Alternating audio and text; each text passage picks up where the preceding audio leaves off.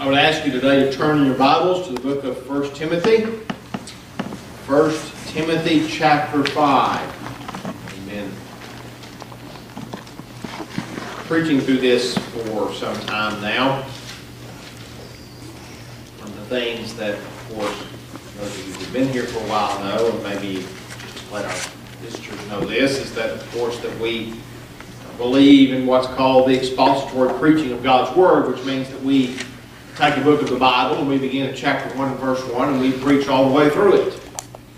And uh, had a conversation with a uh, man last night on the phone concerning this and, and uh, just kind of confirmed something that I uh, already, I think I already knew, that, that this is not common the expository preaching of God's Word. It ought to be common.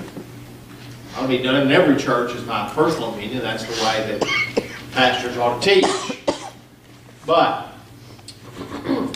we come this morning to, as we said, to chapter 5, and, and we spoke last week in chapter 5. We began with verse 17. And uh, spoke on verses 17 and 18. I'm going to read those verses again, but read down through verse 20 today because really the context of all of this is still dealing with this issue of, of elders or pastors. And Paul's instruction concerning elders and pastors, and he's giving some practical things here, but they're, they're practical, but they're also spiritual. Uh, just because they're practical doesn't mean they're spirit, not spiritual. And So we're going to read this morning and, and to complete this section that deals really here with the elders or the pastors of the church. Begin with verse 17, 1 Timothy 5. Let the elders who rule well be counted worthy of double honor, especially those who labor in the word and doctrine. For the scripture says, You shall not muzzle an ox while it treads out the grain and the laborer is worthy of his wages. Do not receive an accusation against an elder except from two or three witnesses. Those who are sinning rebuke presence of all, but the rest also may fear. So, give a recap really of what we talked about last week, we talked about that those who are elders or pastors, and there's several different words that are used in the scripture that talk really the same office. There's the word elder, there's the word pastor or pastor teacher, and the word bishop. And it all really speaks of the same office. And what Paul instructs Timothy, and for Timothy to instruct those that are under his teaching, is those who rule well, those who labor well and rule well as pastors and elders, that they are worthy of double honor. Uh, that they are worthy of an honor because of their calling, because of their uh, dedication to the Word of God and to the ministry of the church. They are worthy of this, this double honor. Uh, and this, this has to do with, as I said last week, it's not only about that we honor them personally, we honor them in practical ways. And, and as he gets down there to talk about the laborers worthy of his wages, that the idea here also that word, those words there speak of, of the financial support of those who, whose calling and job it is is to minister the Word of God.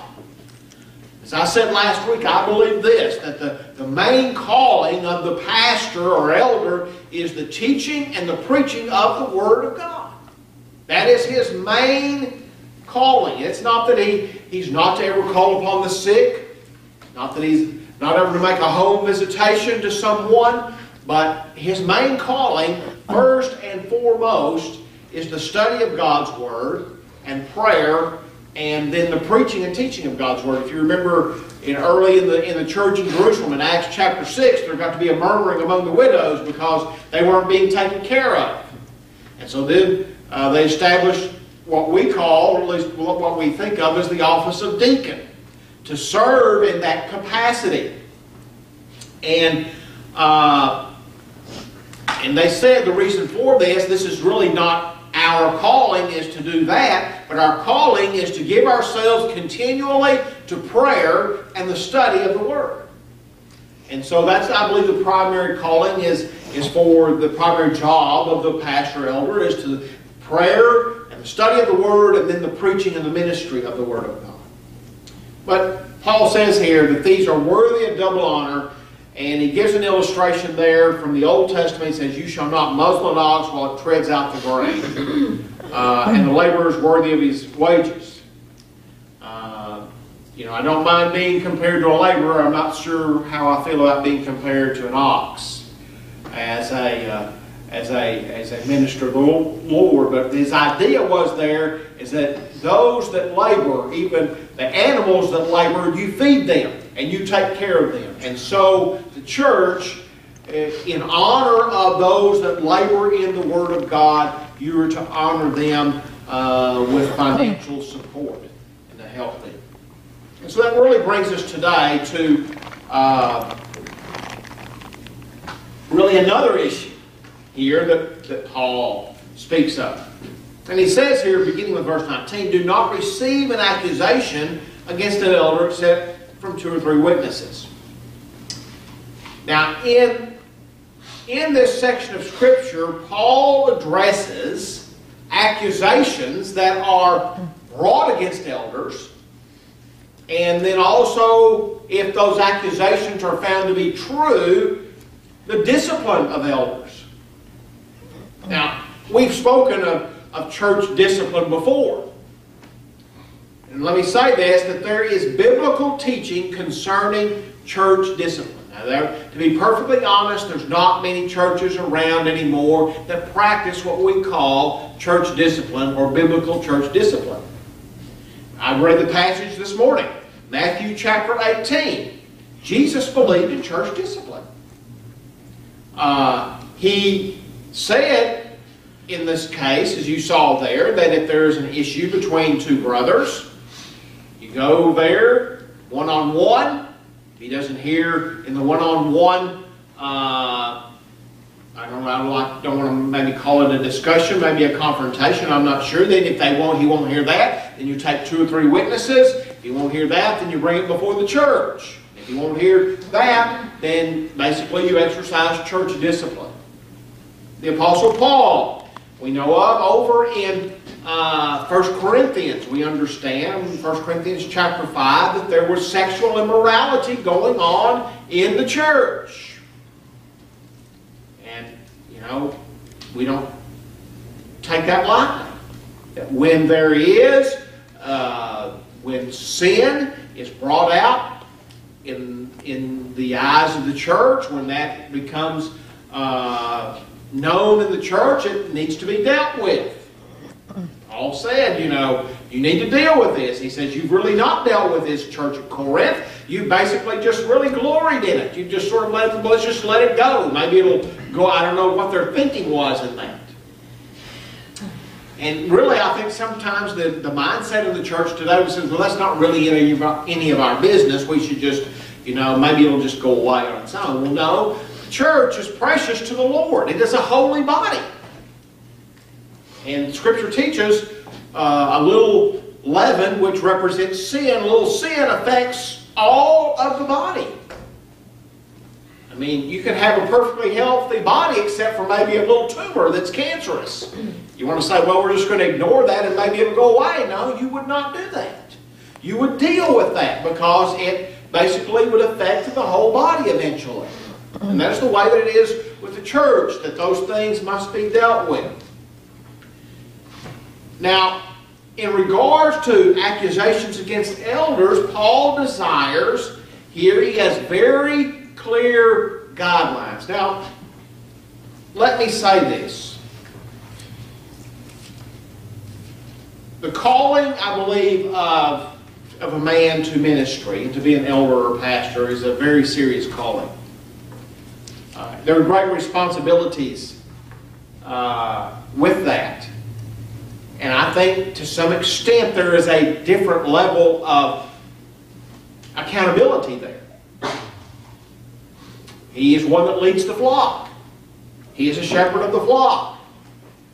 And there, I think, is a more strict uh, level of judgment there. In fact, if you look at the book of James in chapter 3 verse 1, uh, James said there, My brethren, let not many of you become teachers, knowing that we shall receive what? A stricter judgment. Pastors are under a microscope. They are viewed more closely by the body, and in some senses, this is as it should be in some ways. Because they have a responsibility uh, to the body, and certainly if the head of the body or if the pastor of the body is, is uh, guilty of some sin, it is certainly, certainly going to affect the body. Uh, now, let me say this. When he says, do not receive an accusation against an elder except from two or three witnesses, let me say this. Those often in positions I have seen, and as many, just I guess all of you know, that I'm, I was also a pastor's kid, not just a pastor. So I've seen this basically my whole life, that those in positions of spiritual leadership are very often in danger of false accusations. And the hard part about that is, is very often people are prone to believe a false accusation above what is truthful. Uh, you know, we have in our day out in our culture with all the social media and everything. Uh, things that are spoken out there that are not truth, but people believe it, and then before uh, the truth can come along and dispel that untruth, then it spreads like wildfire. And that happens very often, unfortunately, within the church. Are elders, now let me ask this question, are elders capable of great sin? Well, yes elders are capable of great sin. But again, it seems very often that people are quick to believe the worst of God's men, even when the claims are false and unsubstantiated. And we see this in the Scriptures, do we not? Where godly men are accused falsely uh, by others, and the false accusation is believed. You look at Joseph. He was falsely accused by Potiphar's wife. He chose what God pleased instead of what she desired. He suffered the consequences for it. Moses was falsely accused. David was falsely accused. Jeremiah the prophet was falsely accused. And ultimately, our Lord Jesus Christ was falsely accused. Even though there was never any sin or any guile uh, associated with him. He never committed any sin. He was falsely accused. Those false accusations were believed. Now, why does this occur? Well, sometimes it occurs due to envy. Envy within, you know, of others, uh, of the pastor. Sometimes it is jealousy. Sometimes Unfortunately, I've seen this. It's desire, a desire for power among someone in the church body that is ungodly. And simply sometimes it's because of a hatred for righteousness and truth. There is always, let me say this, there is always going to be a conflict between those that are unrighteous and those that are there will never be a peace there. They are at enmity one against the other. So what Paul says is that when these accusations come, they must be handled in a biblical manner a biblical manner. Everything that we do within the church should be done in a biblical manner, not because that's the way Baptists have always done it. Very often what I've seen in our day and time is that, well, we need to appoint a committee and let them deal with this. Or well, those deacons, they're the bosses of the pastor, they need to handle it. Number one, deacons are not the bosses of the pastor. Deacons are servants. That's what the Bible points out.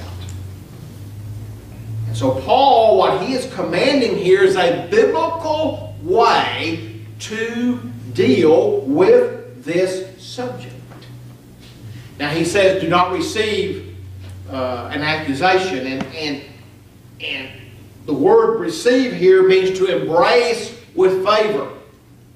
If somebody comes along to you and makes some kind of condemnation or accusation, which is what accusation there means in the original language, about the pastor, and they come up beside you, they get on the phone, they say, hey, you know, I've got something here I'm, uh, about Brother Webber. I'll just use myself for an example. Let me say this. Number one, do not believe immediately the worst. That's what Paul is saying here. He says, do not receive these accusations except against an elder, except from two or three witnesses.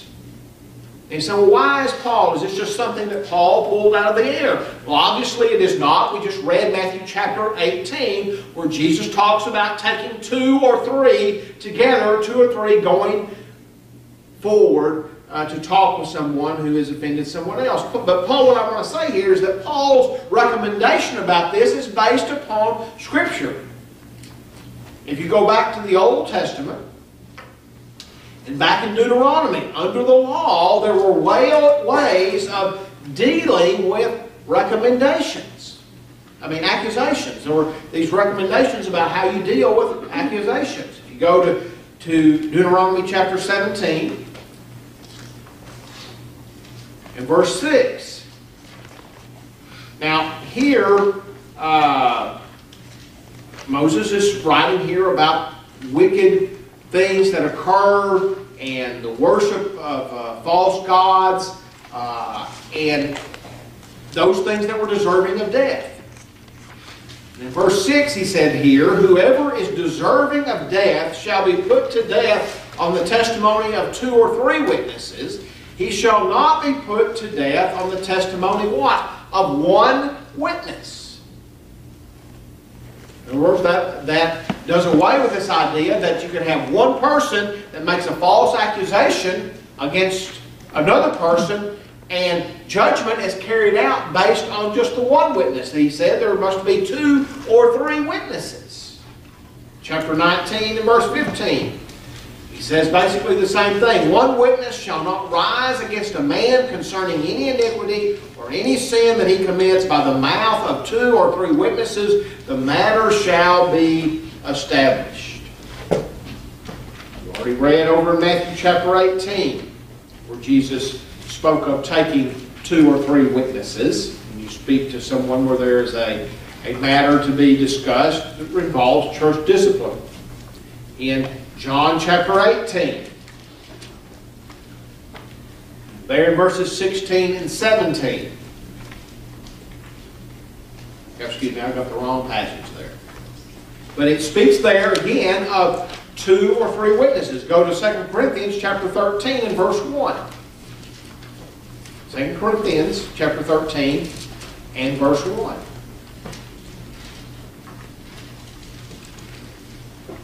Paul says there, but this will be the third time I'm coming to you. By the mouth of two or three witnesses, every word shall be established. And then you go to Hebrews chapter 10 and verse 28.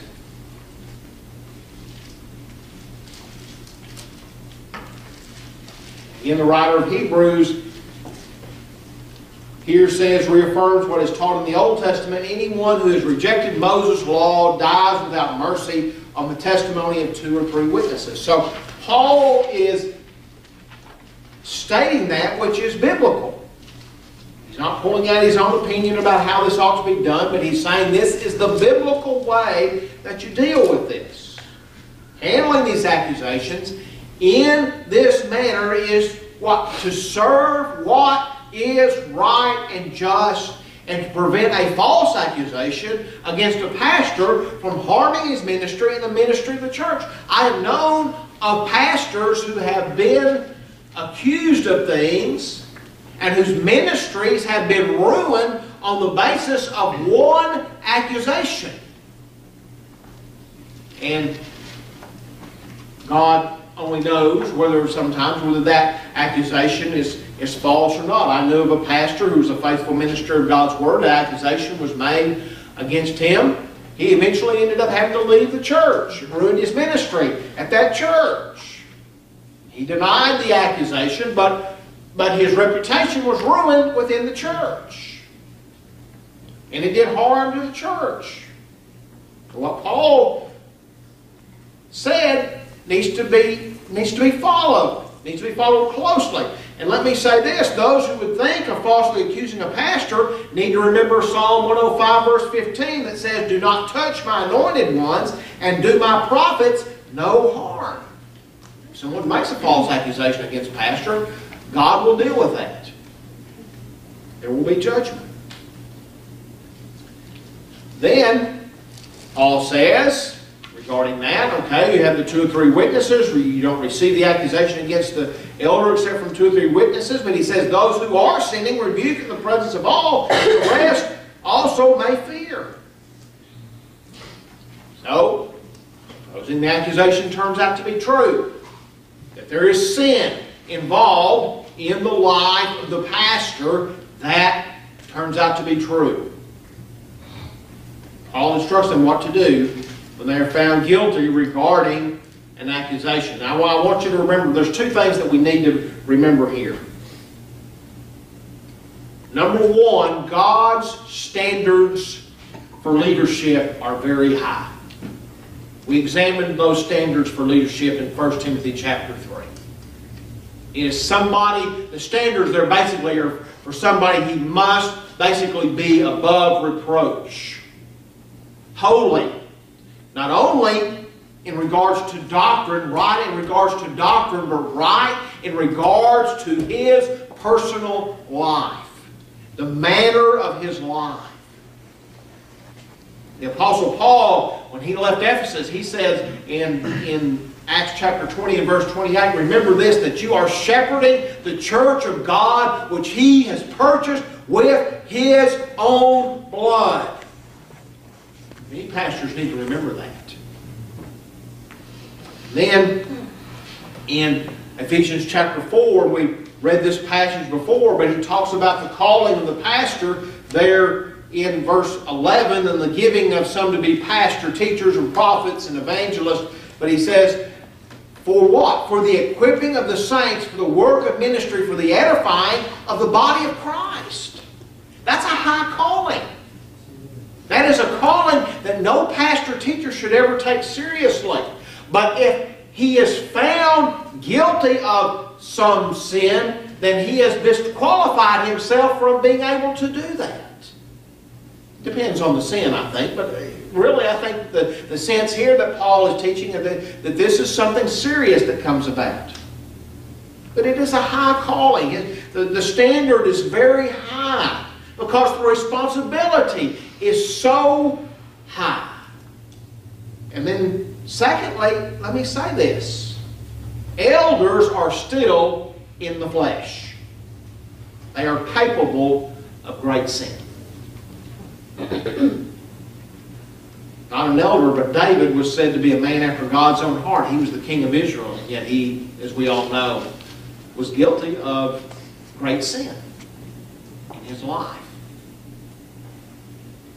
Peter was guilty, not of sexual immorality, but as we will see as we'll look at some of the scriptures, he was guilty of some sin in regards to the body of Christ. Let me say this in regards to the body.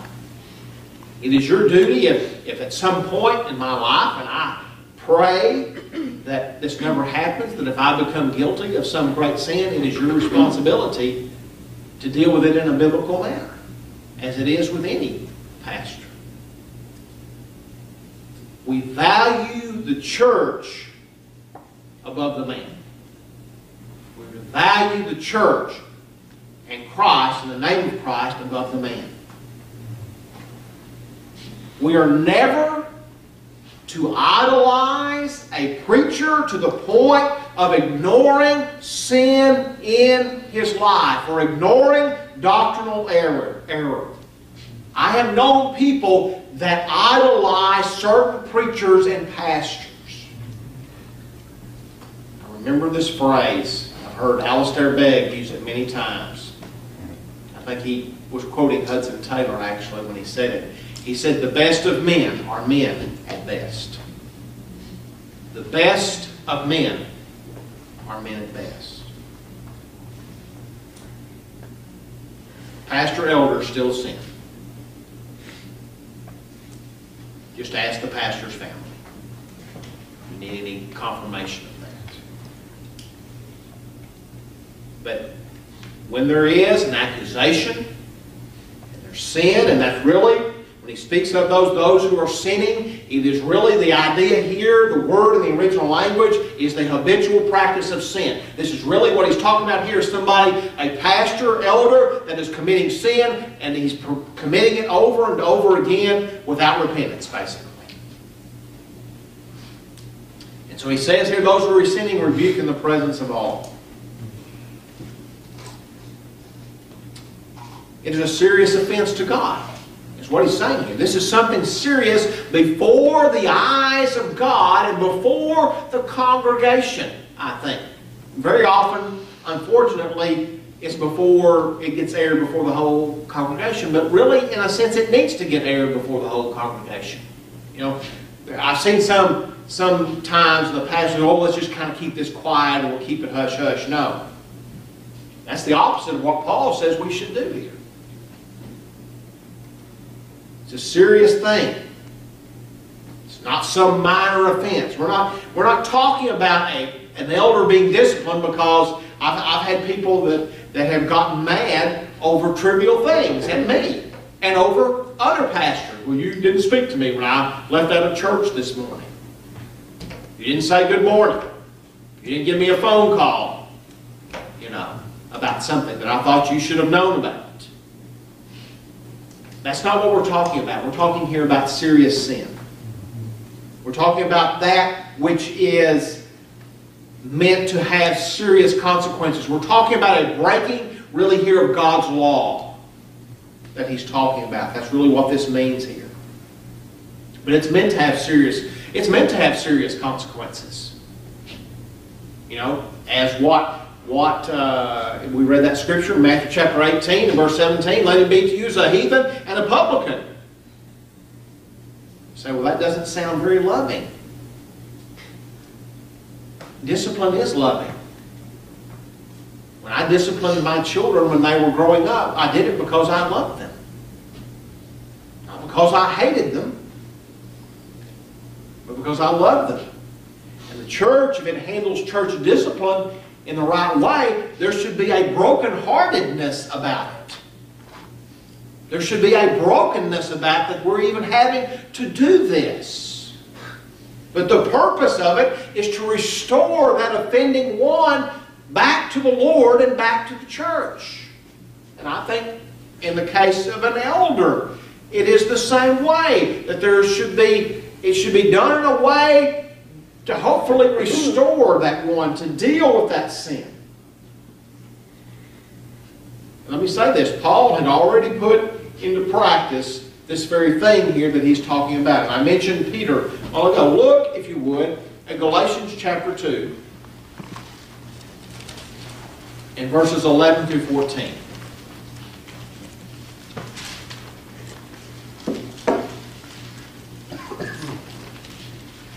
Peter was a great, I believe, great preacher. We all understand the Apostle Peter was, was prone to some things. He was prone to, to speaking rashly and making boasts of which he was not able to, to fulfill. We know that he, he denied the Lord three times. He cursed his name.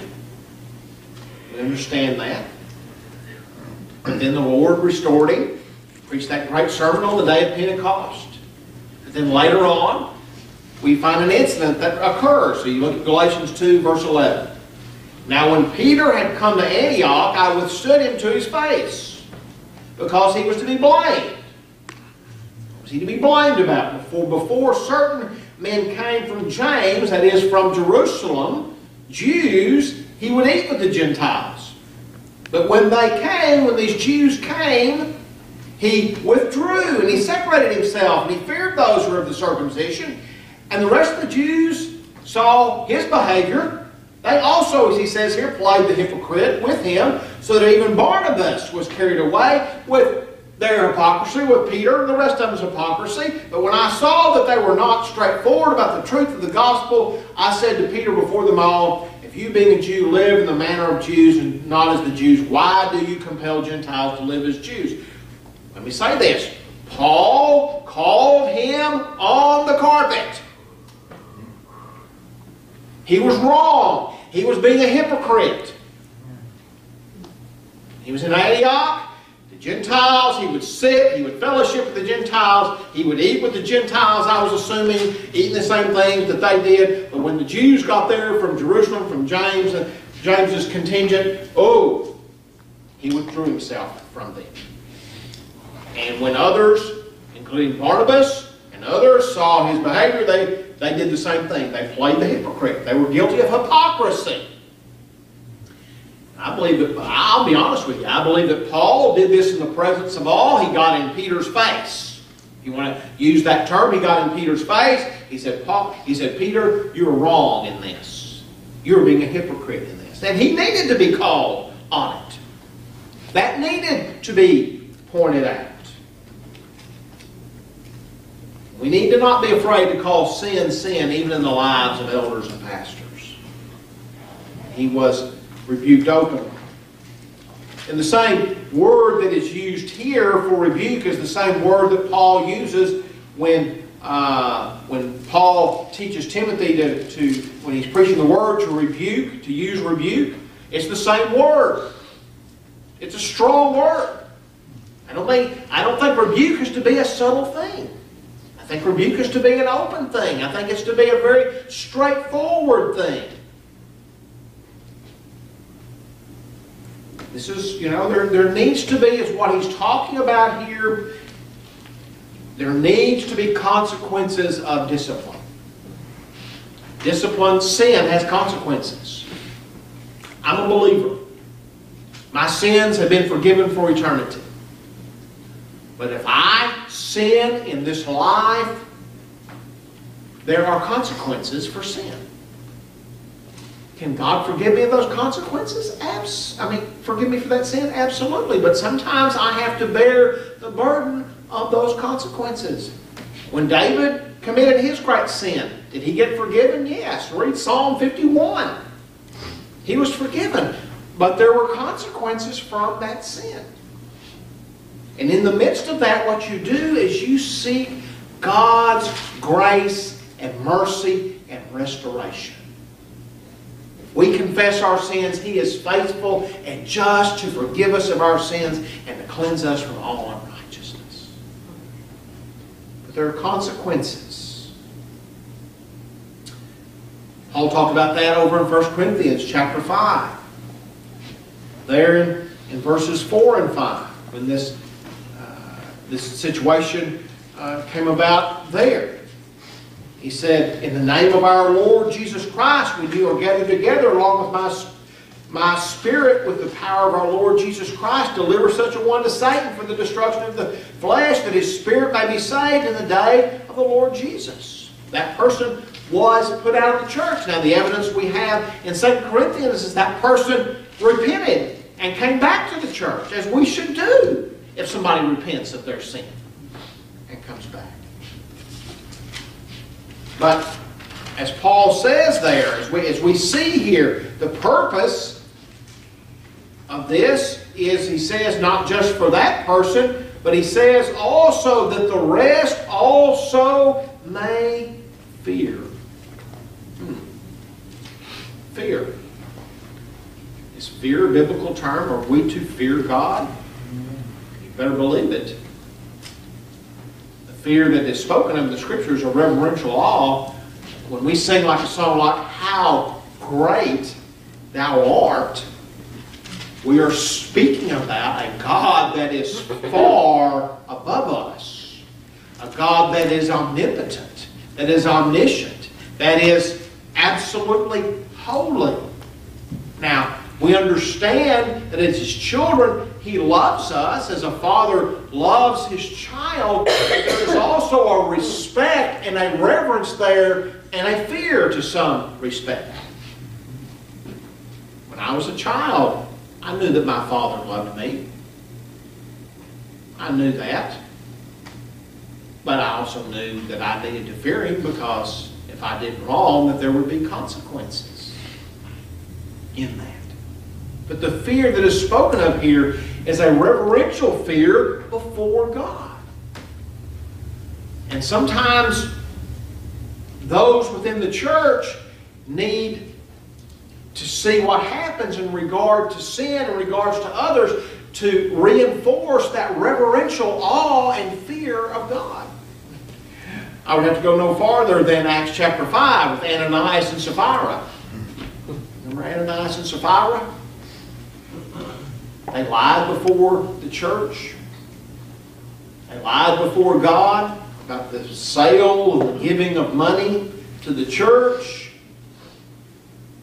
They were both struck dead.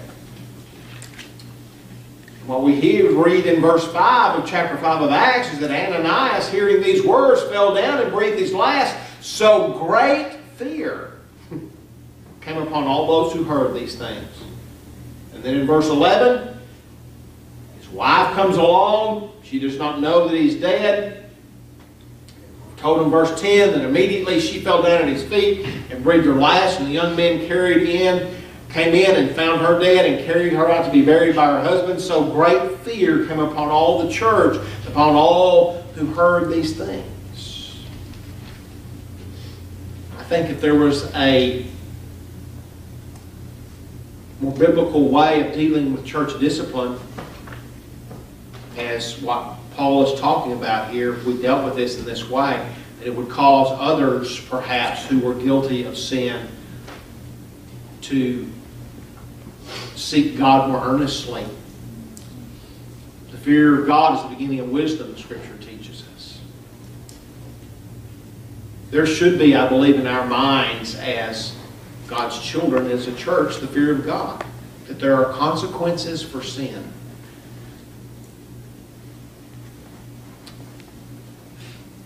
Paul said in another place in 2 Corinthians chapter 7 and verse 1, Let us cleanse ourselves from all filthiness of the flesh and spirit, perfecting holiness, what? In the fear of God. The fear of God spurs us, I believe, to practical holiness. Seeking to walk with the Lord. We believe in what's called practical sanctification in this church. That means practical holiness. We have a healthy fear of God, a right fear of God, I believe that that spurs us toward that. And I really think the point of, of Paul's teaching here is that to know that elders are held really to a higher standard even than those that are within the church. They are, they are capable of sin. And that when they do commit sin, the church needs to deal with that in a way that the rest before them may fear, may fear the Lord, and seek Him more earnestly, I believe is what Paul's teaching is here. We'll stop there today in regard to this, but I hope that we will consider these things, not to view of them as, as, as harsh, but of that which is right in the eyes of God, that which promotes holiness and fear in the lives of people. May we bow our heads.